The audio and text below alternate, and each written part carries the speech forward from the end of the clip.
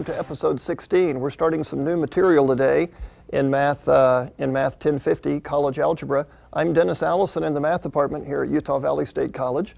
And uh, we're starting the new, a new chapter on exponential functions and logarithms. Uh, today we'll be talking about exponential functions, and next time, in episode 17, we'll look at logarithms. Let's go to our list of objectives for today. Uh, first of all, I'd like to review some fundamental properties of exponents that I think you're probably familiar with, but we just want to mention just before we get this started. Then we're going to look at some new fundamental graphs. These are fundamental graphs of exponential functions. We'll be making transformations of these exponential graphs. And then we'll look at one special exponential function called the so-called natural exponential function. Okay, uh, let's go to our list of review uh, properties Okay, I'm wondering uh, if we all remember these properties of, ex of exponents uh, that we've covered in elementary and intermediate algebra before we look at exponential functions uh, in this section. Uh, who can tell me what is the product a to the m times a to the n?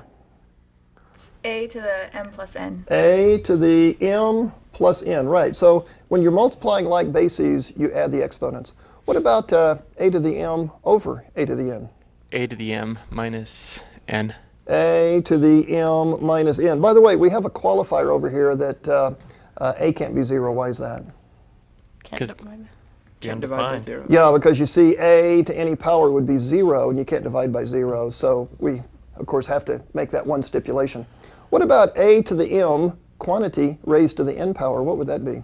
A to the m times n. a to the mn power. Yeah, m times n. Exactly. Very good. Um, finally, also, also, what is a to the 0 power? One. a to the 0 power is 1 whenever a is not 0. a to the 0 power is 1. What is 0 to the 0 power? Just to ask you offhand. One. No, actually, it's not defined. 0 to the 0 power has no meaning. Kind of like uh, you can't divide by 0, you can't raise 0 to the 0 power. Uh, you know, the reason for this rule, a to the 0 power being 1, is basically an extension of this very first rule. You see, if I were multiplying, over here on the side, if I were multiplying a to the third power times a to the 0, if I were using this first rule, I would add the exponents, and I would get a to the 3 plus 0 is 3. So what must a to the 0 be? Because a cube times this is a cube. That must be what? One. That must be 1. So that's why we, we just define it to be 1 so that I can continue to use that rule. Then finally, our last, uh, our last uh, expression is a to the negative n. And uh, what is another way of expressing a to the negative n power? 1 over a to the n. 1 over a to the n, exactly. And the reason for that, let me just put that in the same space. You see, th- these are merely definitions that we've been given, that we, that we give in mathematics. If you multiply a to the third times a to the negative 3, if I use this very first rule up here, I should add exponents, and I would get a to the 3 plus negative 3 is 0, which we said is 1. So that means a to the negative 3 must be the reciprocal of a cubed. So we define this to be 1 over a to the third. So in general, a to the negative n is 1 over a to the n power. Okay, those are some of the fundamental properties of exponents that we have seen in the past, and we'll be using those um, in this episode. Okay, uh, let's now look at how we find exponential values on a calculator. And let me bring my calculator in and set it up on the green screen. Um, if we could focus in, we could zoom in on this calculator right here. Uh, not everyone at home, maybe not all of you, or maybe perhaps uh, comfortable with taking exponential values on a calculator, so I want to show you how I can do that right here. Suppose I want to take uh, 3 squared. So if I turn my calculator on, I'll enter 3, and then I have this button over here with sort of a sort of a little. Uh, let me move that up so you can see it. It has this little uh, caret shape, this little this little inverted V shape. That's the exponential key, and if I push that, what it says is the next number I enter is the exponent. So that this now says 3 squared, 3 to the second power, and if I press enter, then I get 9. 9. Let's do that one more time. Suppose I enter uh, 12, and I want to raise it to the third power. So I'll raise it to the third power, and I get 1728. Now, not, not every calculator has this symbol for their exponential key. Uh, and if we go to the next graphic, I'll show you what other calculators sometimes have. Let's go to the next graphic. Uh, here we go. Okay, so uh, you see in these two examples, we have 3 raised to the second power, and then when I press enter, that's the equal sign, then I got a 9. But on some calculators, you might uh, have a key that says y to the x power, and on this, then on that bottom line, we have one, uh, 125 raised to the power of, and then I put one third in parentheses, parentheses 1 divided by 3. So that's 125 to the one third power equals, and a one third power is a cube root. So the cube root of 125 is 5. And so you, you can see what the, what the, more, uh, what the more typical uh, expression for that relationship is on the right hand side. The cube root of 125 is 5. So you'll be using uh, in this episode either that, uh, that little inverted v key for exponents or y to the x. And I think there may be some calculators that have x to the y, but um, uh, any, any of those should be able to give you an exponent. Okay, now uh, let's go to um, our fundamental exponential functions. And let's, to do that, let's go to the next graphic. Uh, the, a, a, function such as f of x equals 2 raised to the x power with a variable in the exponent uh, is called an exponential function. And uh, here we're asked to sketch the graph of the exponential function f of x equals 2 to the x. Okay, let's go to the green screen and see how we would graph this. f of x equals 2 raised to the x power. Now you notice this time I have a constant in the base and I have a variable in the exponent. So that's why we call this an exponential function. Um, and I've never graphed this before, so as we've seen in the past, I'm going to make a table, plot points, but of course that always gets to be rather long and tedious. I'm going to look for target points and find a quicker way to graph this. So let's set up our table over here on the side, and um, we'll label our columns x and 2 to the x. Now suppose we substitute in 0, 1, 2, 3, or 4. Um, the function values would be 2 to the 0, which is 1, as we just saw. What's uh, 2 to the first power? 2. Is 2. Yeah, 2 to the first power is just 2. Uh, what would be the function value for 2? 2 to the second power is? 4. 4. Mm-hmm. And 2 to the third power is 8. And 2 to the fourth power, 2 to the fourth power is what? 16. 16. Now, you notice what's happening is every time x increases by 1, 0, 1, 2, 3, 4, my function values double. 1, 2, 4, 8, 16. So I bet the next value would be 32 if I were to substitute in a 5. So the values on the right are said to be increasing exponentially because they're doubling. The values on the left, the x values, are increasing linearly because they're increasing by 1 every time. Now, what if I substituted in negative numbers like negative 1, negative 2, negative 3, negative 4, etc.? Well, if I substitute in negative 1, I get 2 to the negative 1 power, which is uh, what, Matt? Wouldn't that be uh, 1 half? 1 half. You remember that was the last property on our list. 2 to a negative power means 1 over 2 to the first power, and that's 1 half. If I substitute in negative 2, 2 to the negative 2 power, that's 1 over 2 to the second power, which is 1 fourth. What's 2 to the negative 3 power? 1 eighth. 1 eighth. And what's 2 to the negative 4 power? 116. 1 16th. Now, these numbers are decreasing linearly, negative 1, negative 2, negative 3, negative 4. And these numbers are decreasing exponentially because because we're going down, uh, these numbers are being cut in half. To, uh, 1 half, 1 fourth, 1 eighth, 1 16th.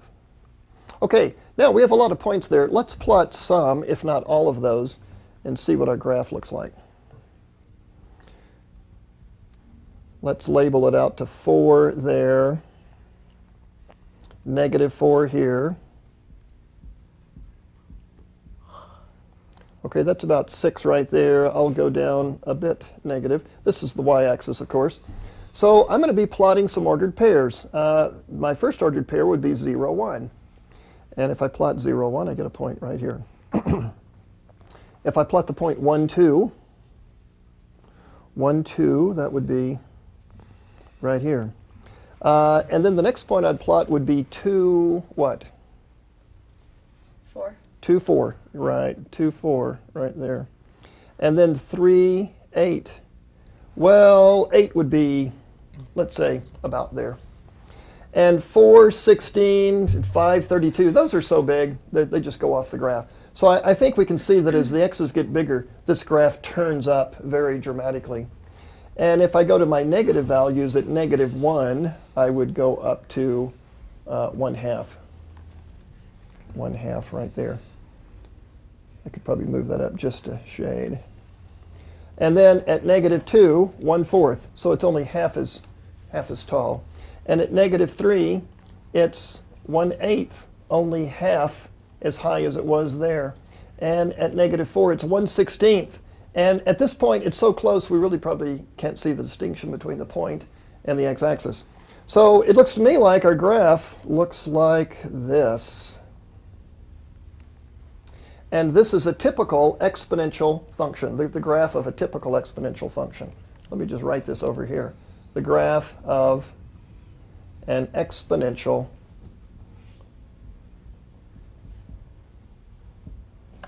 function. Um, this function has an asymptote. You remember a couple episodes back we were talking about rational functions with vertical and horizontal asymptotes. This function has an asymptote. What type of asymptote does it have? Horizontal. It has a horizontal asymptote, the x-axis. The x-axis is a horizontal asymptote. However, it does not have a vertical asymptote. Uh, the reason is, even though this graph is climbing, there's no imaginary wall, no imaginary vertical line that it approaches but never reaches. This function just keeps spreading out to the right and getting higher and higher and higher. For example, if you were to go over to uh, 10, which is beyond my graph, 2 to the 10th power would be over 1,000. You could check it on your calculator. It's 1,024. So at 10, it'll be at 1,000. Uh, and if you go beyond that, if you go further to the right, it'll be a million and then a billion and so forth. But there's, there's never a point where it approaches a vertical line uh, and can't cross it. Now, of course, in the future, I'll be graphing more uh, exponential functions, and I want to look for a shortcut so I don't have to make a table every time.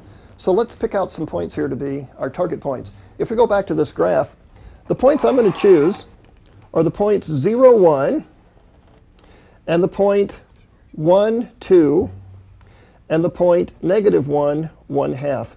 Let me just list those over here. There's the point uh, uh, 0, 1, 1, 2, and negative 1, 1 half. Now, you notice it doesn't really matter what the base is. Uh, say if the base is 3 or 5 or 7. When I raise it to the 0 power, I always get a 1. So I always go, go through the point 0, 1, irregardless of whatever the base is. But if I go over 1 unit, then the distance that I go up is whatever the base number is. So if I go over 1, I get 2 to the first, or 2. So whatever that base number is, at 1, I go up the base. If that had been 3 to the x, I would look, I'd locate the point 1, 3. And if I go to the left 1, to negative 1, can anyone tell me another way of explaining why that's 1 half? Stephen?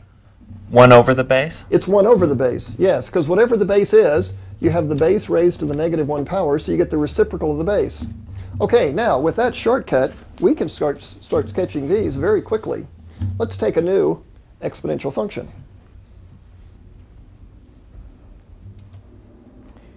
Uh, suppose I want to graph the function 5 to the x power. so f of x equals 5 to the x power. We don't want to make that table because that's much too tedious to, to have to list every time. Let's take some shortcuts like we've been doing all through the course. Um, I'm going to plot only three points.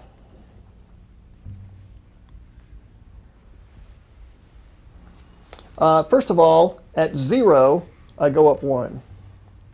Now, the reason for that is if I substitute in 0 for x, 5 to the 0 is 1. And if I substitute in a 1, I go up 5. There's 5 right there. Because 5 to the first power is 5. And if I substitute in a negative 1, I go up 1 fifth. It's hard to locate that exactly, but we'll say that's 1 fifth. And now I know the general shape is that I have a, uh, I have a horizontal asymptote for the negative, what, negative x-axis. And the graph turns and it goes up very abruptly. As a matter of fact, the larger the base, the faster this, this curve turns up. And this is the graph of the exponential function 5 to the x. You know, while, while, we're, while we have this written on the screen, let me just mention that in later courses in business and physics and engineering and in mathematics, you'll sometimes see this function written this way. f of x equals exp sub 5 of x. This means the same thing as 5 to the x. And you might say, well, why would anybody want to write it that way when 5 to the x is so much more compact? Well, you see, this is a function of x. And so if we want to give a name to the function, this does not identify x as a function of x. It just places the x up in the exponent. So the name of the function is called the exp function. That means the exponential function. And if you put a little 5 there, that means it's the function 5 to the x power. Uh, I'm not going to use this on exams, but I just want to mention this to you so that if in a later course you see a function called exp, you'll know that this is, this is just the, a more familiar version of an exponential function. Let's take another, another function. Suppose I wanted to graph the function uh, capital G of x equals 10 to the x power equals 10 to the x power. Uh, can anyone tell me three points to plot?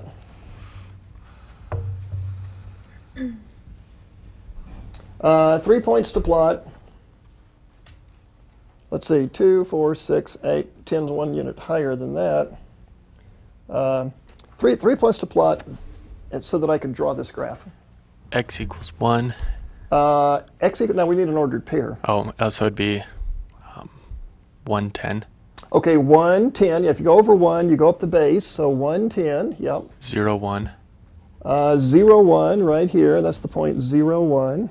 And negative 1 and 1 tenth. And negative 1, 1 tenth. Now, gee whiz, we can hardly squeeze that in there. But that's supposed to be the point 0 and 1 tenth. Or if you prefer, 0, 0.1 in decimal form. So this tells me that the graph is going to turn very dramatically up. At, whoops, we missed the point there, but uh, you get the idea. It goes through that point, and over here it levels off very, very quickly so that it's almost indistinguishable from the x-axis. For example, at negative 2, how high is the graph at negative 2? 1 100th. It's 1 100th. It's 10 to the negative 2 power, or 1 over 100. And at negative 3, it's 1 1,000th. So you see, this thing collapses very quickly, and it goes up very dramatically. Uh, you know what this reminds me of is the graphs of the higher order polynomials, like x squared is a parabola, x cubed was flatter in the middle, and it turns up more dramatically. x to the fourth is even flatter in the middle, turns up even more dramatically. So the same thing happens with the exponential functions when you increase the base rather than when you increase the exponent. Uh, another way of expressing this function, I'll just mention in passing, is to say this is exp sub 10 of x, if you should ever see that written in another, in another book. um, okay, let's look at another example of exponential functions, but I'm going to pick my base a little differently from those first few examples. Suppose we have g of x equals 1 half to the x power. Now, you see what makes this different is I'm picking a fraction smaller than 1, a positive fraction smaller than 1 in my base. When I go to graph this, I'm going to follow the same rule for my target points. We said that at 0 would go up 1 unit. So there's the point 0, 1. We said that if we go over 1, we'd go up the base. The base is a half. And if I go back 1, I'll go up the reciprocal of the base. And what's the reciprocal of 1 half? 2. Two. So you see, this time I have a graph that's coming down. It's decreasing. and approaching the positive x-axis as a horizontal asymptote. So I can summarize the differences between this graph and the previous graphs this way. If the base is a positive number but smaller than 1, you get a decreasing function. And if the base is, um, is a number bigger than 1, you get an increasing function. We saw 2 to the x, 5 to the x, 10 to the x. Those were all increasing from left to right. But if you put in a base smaller than 1, it forces this point to be lower and the reciprocal is higher, and this becomes a decreasing function. Now, you know, I, I, think a reasonable question is why would anyone want to study exponential functions? And there are many applications for these, and some of these will, some of these applications we'll study in this course. Uh, for example, population growth, um, compound interest in banking accounts can grow exponentially. On the other hand, functions that are decreasing, like the one I've, I've graphed right here, uh, would be radioactive decay. If you have a radioactive substance with a certain half-life, it become it has less and less radioactive material in it over time. So this would represent the graph of the amount of radioactive material in that. If that's a little confusing to you, I'd say hang on. In a later episode, we'll be talking about some of these very applications, and you can see how this is applied to banking, to business, to chemistry, and to physics. Susan. If that were a negative one half, would the graph be flipped over the y-axis? Well, you know, we'll, we'll only consider situations where the base is a positive number. Oh, you mean a negative in front? Yeah. Oh, okay. Uh, if you put a negative in front, that would flip the graph over. Over the y-axis or the x-axis? Uh, it would flip it over the x-axis. Okay. It would be inverted and it would be coming up from underneath. Uh, I thought Susan was going to ask what happens if you put a negative number inside for the base, like a negative one half quantity to the x power. We won't be considering those functions because those are sort of in intermittently defined. Uh, a negative one half power raised to a one half power that would mean a square root of a negative a half. We, get, we can get imaginary numbers in that case. So I think it's best to just leave those alone. Um, oh, Stephen. What if we had a variable in both the base and the exponent? Oh my goodness. Okay. Well, now you're you're getting to some interesting situations there. Uh, that's another situation we don't cover in this course. But uh, I suppose it's possible you could have a function like f of x equals x to the x power. Uh, let's just see. If you had x to the x power, what would be f of two? It'd be 2 to the second power 4. What would be f of 3? 27. It'd be 3 to the third power. So you'd be plugging an x both in the base and in the exponent. 3 to the third power would be, uh, would be 27. Uh, although that's not what we will call an exponential function in this course because we want a constant in the base, I would suggest you try graphing that on your graphing calculator. And if you take a course in calculus, I bet you will see that function come up along the way. Uh, let's go to the next graphic. And uh, here are some facts that kind of summarize what we said about exponential functions. First of all, the graph of f of x equals a to the x power, if a is bigger than 1, will curve up on the right and approaches the x-axis on the left, the x-axis being a horizontal asymptote. Uh, number two, the graph of f of x equals a to the x, if a is bigger than 0 but less than 1, it curves up on the left and approaches the x-axis on the right.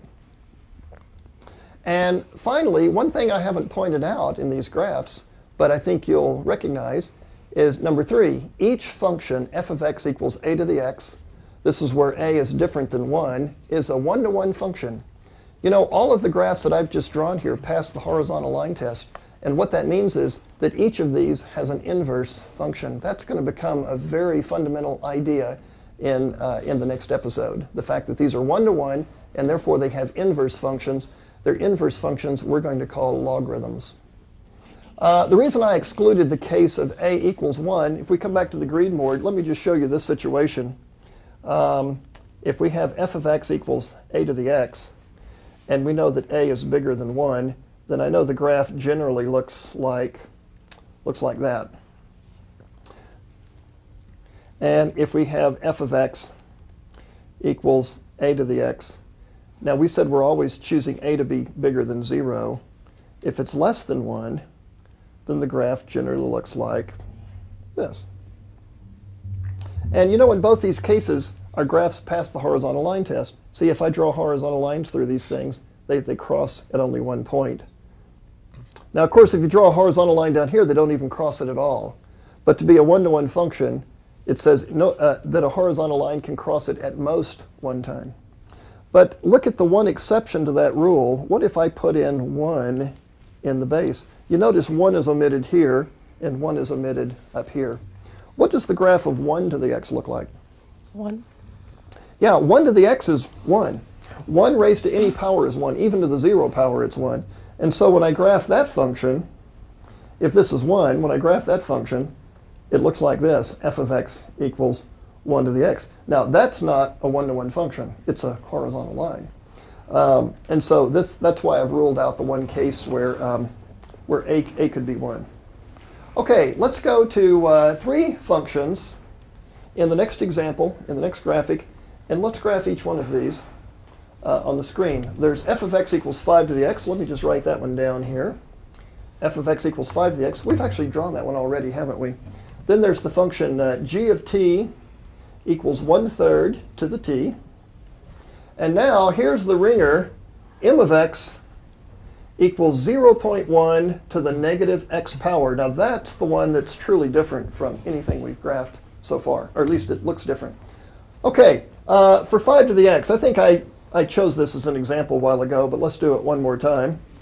If I want to graph 5 to the x, uh, I'll plot the point 0, 1, 1, 5, and negative 1, 1 fifth. And my graph looks like this. Now, you see how fast that is to be able to draw it that quickly.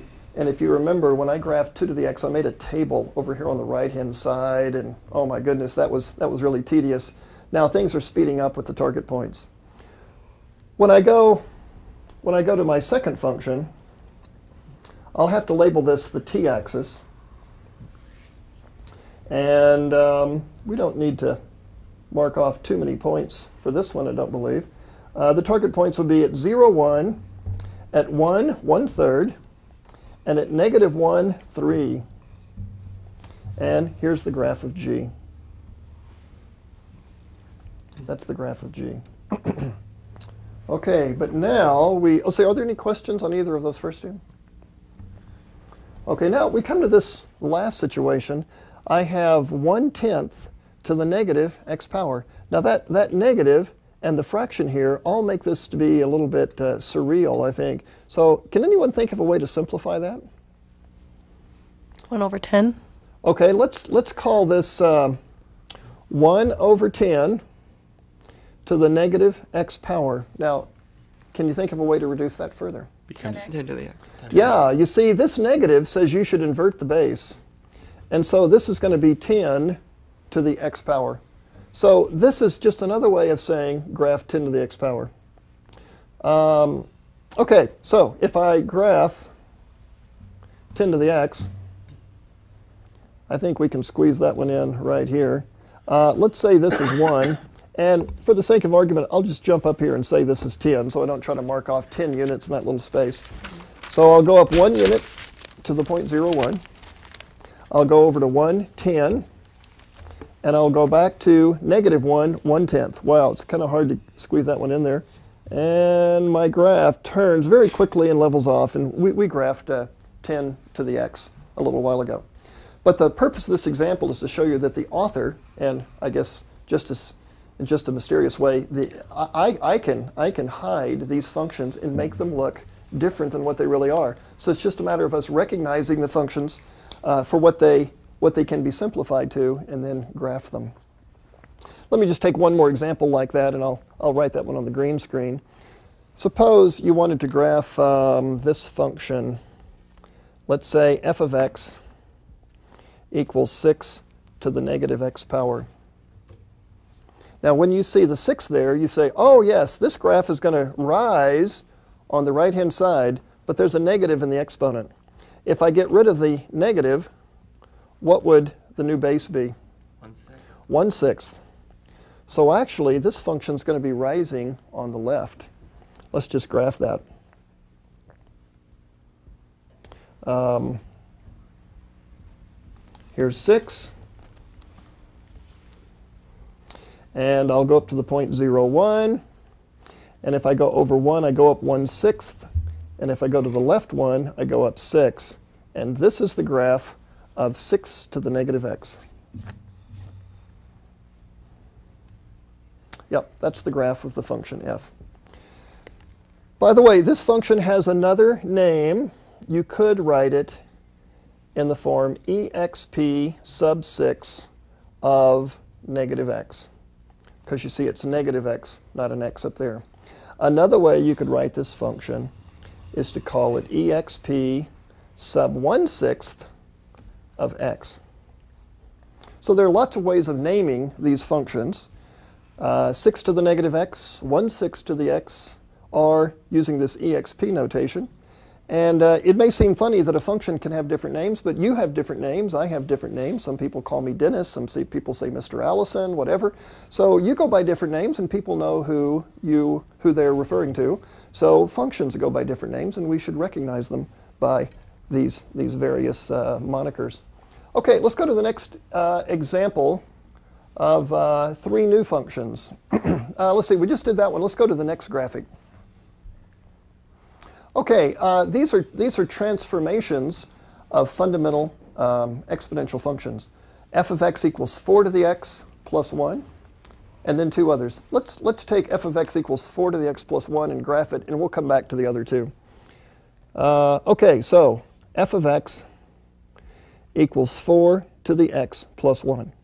Uh, by the way, I, I should remind everyone that surely by now you know that all of these examples are worked out on the website.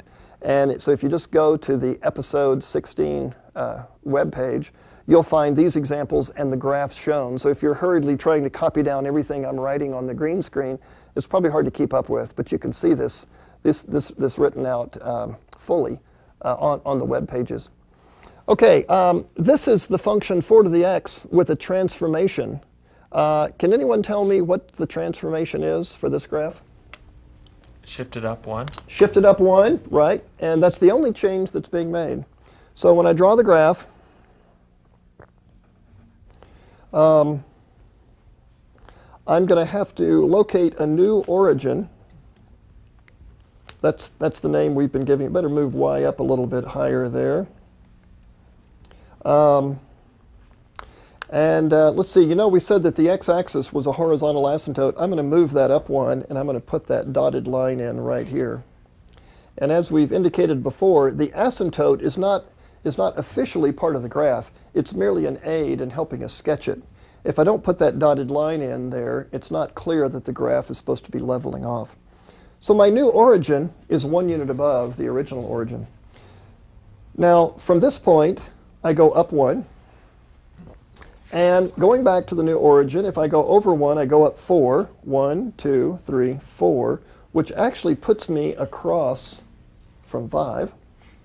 And from the new origin, if I go to the left one, I go up one fourth. Because you see, basically, I'm plotting 4 to the x. I'm just doing it one unit higher than I did before. And my graph comes down like this. And it approaches this horizontal asymptote. And this is the graph of f. Now, I hope this sounds very familiar, and you're saying, oh, this is just more of the same old thing, because it really is. You see, college algebra focuses primarily on drawing graphs of functions, so it's a very visual sort of, uh, sort of uh, uh, course. Whereas intermediate algebra dealt primarily with algorithms like the quadratic formula, factoring polynomials. So it was a different slant on algebra. And what we're doing here is actually analytic geometry when we're drawing graphs of, graphs of these functions. Okay, let's go back to that screen and graph the second function that was listed there. Um, we have g of x equals 0.2 to the x plus 2 power. Okay, let's look at the function g of x equals 0.2 to the x plus 2 power. Uh, another way of expressing this is to say this is 1 fifth to the x plus 2 power. And another way of expressing this is to say this is exp, that is the exponential function, base 1 fifth of x plus 2. And the exponent goes inside here. Uh, so all of these are referring to the same function, just by, just by different names. Now, when I go to graph this, I'm going to uh, be, I'm, I'm going to be making a shift in the function one fifth to the x. Uh, which way will I be shifting this function? To the left. To the left two units. So I'll move to the left two units at negative two. this is my new origin, but this is not a point actually on the graph, just where I'll begin to locate the points that are on the graph. Uh, let me just fill in the rest of this axis here. X-axis, Y-axis.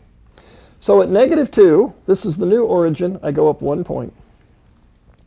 If I go to the right one, I go up one fifth because the base is one fifth.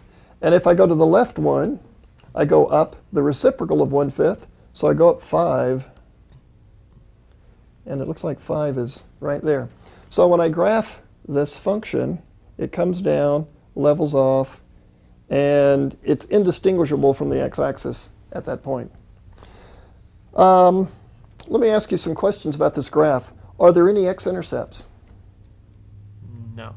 There are no x-intercepts because, uh, as we just said, this graph approaches but doesn't cross the x-axis. Looking at it from another point of view, if you're looking for x-intercepts, what you do is let y be 0. And if I put a 0 in there, 0 equals 0.2 to the x plus 2 power, this has no solution. Because if you take 0.2 to any power, you will get a positive number. You, you'll never get 0 for the answer. So there's no x-intercepts. Now what about y-intercepts? Is x equal to 0? You said x equal to 0. So this time I'm going to substitute in 0 for x, and I get 0.2 to the 0 plus 2 power. And that's 0.2 squared, which is how much? One one hundred twenty fifth. Uh, Uh, let's see, 0.2 times, well, 2 times 2 is 4. Um, one to the twenty fifth. I'm a one Uh, over twenty five. Okay, 1 over 25 is a fraction. Sure. As a decimal, I was going to say it's 0.04. And Stephen's giving us the answer as a fraction, 1 over 25. Yeah, that's the same thing. Uh, and so that tells me that we cross the y-axis right here at 4 hundredths. Almost 0, but, but not quite. Okay, let's go to our, our third example on that graphic. This is the function y equals negative 2 to the 2x plus 6. Now, this one has a few, a few uh, uh, tripping points in it that we need to investigate. Let's consider c, which is y equals negative 2 to the 2x minus 6 power. Now, let me ask you, does this mean negative 2 to the quantity 2x minus 6, or does it mean 2 to the 2x minus 6 with a negative outside? Which one of those is this? The second one. It is the second one. And it's merely by agreement in notation as to how this is interpreted. We don't put the negative 2, the negative on the 2. We raise the 2 to the exponent. And when we're finished, we put the negative outside. So this is, this is how we interpret that. But it's only by agreement in mathematics that that decision's made. Okay, now when I graph it, the first thing I'll do is factor the 2 out of the, in the exponent. That's 2 to the 2 times x minus 3. Okay, and I, I remember that that negative is outside the parentheses. It's like I have parentheses right here, but if I show them, it makes it kind of awkward to look at. Okay, now the next thing I'll do is I'll take the 2 and separate it from the x plus 3 and write it this way. 2 to the 2 squared to the x minus 3. Now, you might say, wait a minute, is that legal? Well, one of our properties of exponents that we looked at on our very first graphic today was that if you raise a to the m power to the n power, that's a to the mn power. This is the product of the two exponents. So what I've done is to take the product and separate it and put a 2 in and the x minus 3 out. Now, what's the advantage of writing it this way? Matthew. Well, you can just raise 2 to the second. Okay, which As is 4. At 4. So why don't we just call it negative 4 to the x minus 3? So this function has gone has undergone some changes, but I think it's easier to graph in this form. So if I want to graph that, what I'll do is make a translation. Uh, which way should I translate this? Up or down or left or right? To the right. To the right, yeah. This says move it to the right. I'm going to move it to the right 3. And uh, this tells, the negative sign tells me the graph is inverted. So rather than going up 1, I'm going to go down 1. And if I go to the right one, I should go down how much? Four. 4. Yeah, I should go down to negative 4. You see, normally if I went over 1, I would go up the base, but we've inverted it, so I go down the base. So I go down to negative 4. And uh, going back to the new origin, if I go to the left one, I should go down the reciprocal of 4, or 1 fourth. So my graph looks like this. Yep. So we have just graphed the function y equals negative 2 to the 2x minus 6. Although we didn't graph it in that form, we graphed it in the form that we wrote up here. Okay, um, so if you have a coefficient in the exponent, like a 2 in this case, I would say bring that 2 in to the base, change the base, and make the exponent look, look simpler. Let me just work another example like that. Suppose we have um, f of x equals uh, 1 half to the um, 3 minus 3x power. Let's see, there are other ways we could express this. We could say this is the function exp sub 1 half of, of what? What would I put in the parentheses? 3 minus 3x. 3 minus 3x. Yeah, I could write it that way, although it certainly doesn't look any better than it did to begin with. Uh, I think part of the problem is I have a coefficient on that on that uh, on the x. So let's try going this route. I'm going to factor out the negative 3, factor out a negative 3, and call this x minus 1. I factor out a 3 because 3 is a common factor, and I factor out a negative because I'd like the x to come first rather than second. Now the negative 3 I can bring inside the 1 half, and that's 1 half to the negative 3 power, and then that's raised to the x minus 1 power. Now what's 1 half to the negative 3? 8. That would be 8, yeah. That's 8 to the x minus 1. Okay, now I think we actually have something we can deal with fairly easily. This is the same thing as what I had over here. So what I've done is I've used properties of exponents to get me from there to 8 to the x minus 1. And now 8 to the x minus 1 I figure I can actually handle. That's not such a complicated graph. Okay, let's graph it right here. Um, I'll set up my axes. And uh, let's see, was there a question? No? Okay. So if I go over 1, uh, that's my new origin, and I should go up 1 to locate a point. So at 1, I go up 1. If I go over another one, I should go up how much? 8. 8. I should go up 8. Well, for the sake of argument, let's say 8 is right there. And if I go back 1, which puts me right at the origin, I should go up how much? 1 eighth. 1 eighth, right here. And what we have just graphed is the function f of x equals 1 half to the 3 minus 3x power. It looks very ugly that way, but when we say it's the same thing as 8 to the x minus 1, it doesn't look so, so difficult in that format. So we've, we've graphed both these functions at once because they're the same thing. We've graphed 1 half to the 3 minus 3x, and we've also graphed 8 to the x minus 1 power. It's, it's the same function, going by different names. Okay, now I'd like for us to look at one special exponential function that has numerous applications in business, in chemistry, in physics, in engineering, and in still other disciplines. And this one is called the natural exponential function. Now, the, the, the base of this function is a special number called e. If we can come back to the green screen for a moment, let me just show the class something here. You know, um, there is a number 1.41428, something like this. Um, and no, nobody remembers those decimals exactly. In fact, I'm not quite sure I have it exact. But the way we write that number is we call it the square root of 2. Because this is a symbol for an infinite decimal expansion that uh, we just couldn't write out. It's infinitely long. On the other hand, 1.732 dot dot dot. Does anybody know what that is? Square root of 3. That is the square root of 3, or at least it's the first few decimal expressions, de- decimal values of the square root of 3. How about this number?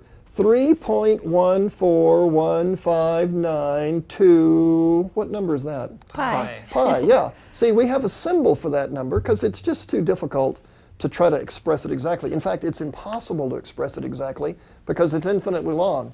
We don't have enough time in our lifetimes to write out a number infinitely long. Well, there is another number that you haven't seen before, but you'll see now, is 2.718 dot, dot, dot, dot, dot. This number is called E.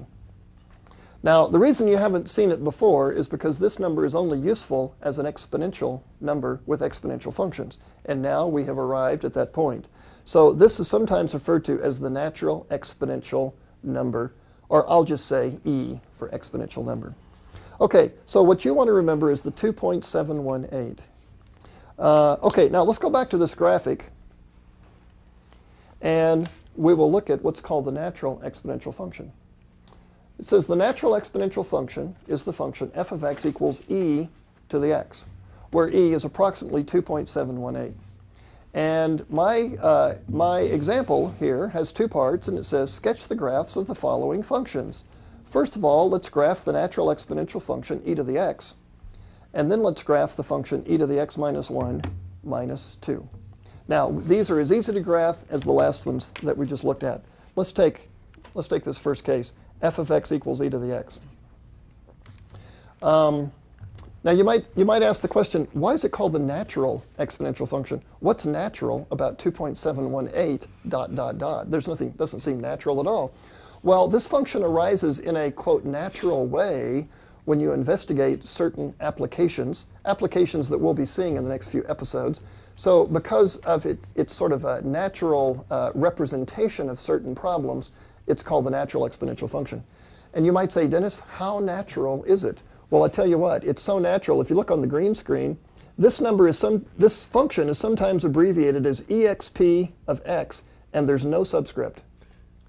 If there's no subscript on the exp function, they mean to use the natural base, and the natural base is base e. Not base 2, not base 5, but base e.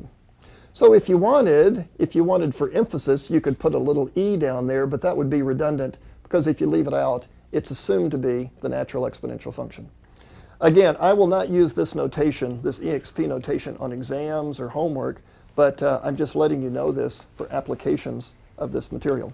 Okay, I'd like to graph this function, and we said that e is approximately 2.718. So when I graph this exponential function, I'll graph it just like I've graphed all the others. There are three target points. Um, what will be the first target point? Zero, one. 0, 1, exactly. Nothing's changed. What will be the second target point? 1e. 1 and go up E, okay? Well, that's about 2.7. I'll have to kind of approximate that. That's, that's about E, let's say, right about there. And if I go back 1, I go up 1 over E. Now, you can try this on your calculator. If you take 1 over E, that's approximately 1 over 2.718, and that's approximately 0.36. So let's say it's roughly a third. I'll go up roughly a third because who's going to be able to tell the difference between 0.36 and 0.33? It's uh, indefinitely. So I locate these three points and I draw the natural exponential function. Well, it should be approaching the x-axis right there. Okay, now this is the first time we've graphed this function, but it won't be the last. You will see variations of this graph come up um, frequently in the rest of uh, the material for exam three, and you'll see it come up in other courses where college algebra is applied. So when you, when you look at this function, it looks very much like all the other exponential functions that we've been, we've been graphing, um, except it's allowed us to discuss this new number, uh, e. Let's see, there was another function there that um, we wanted to graph. Um, g of x equals e to the x minus 1 minus 2. Let's graph that one. g to the x equals e to the x minus 1 minus 2. Uh, first of all, can anyone think of a way to write that using the exp notation? exp Uh-huh, of x minus 1, right? close parentheses, Minus 2. Minus 2. Yeah, it looks kind of weird that way, doesn't it? But uh, believe it or not, that is another representation for this function. Okay, we'd like to graph this. So what I'll do is to make two translations. I'll have to move my, uh, I'll have to move one to the right and two down. So one to the right and two down. Now, when I go two down, I have to take my horizontal asymptote with me. But I didn't move a vertical asymptote over because there was no vertical asymptote. There's only a horizontal asymptote here.